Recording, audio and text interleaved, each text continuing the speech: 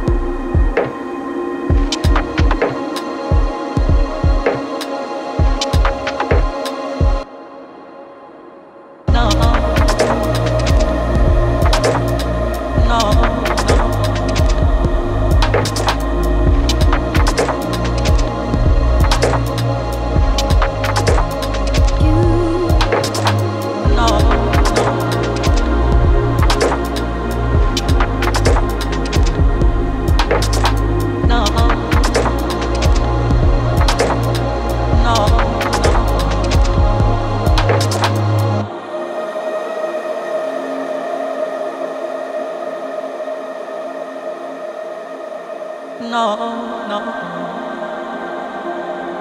Never live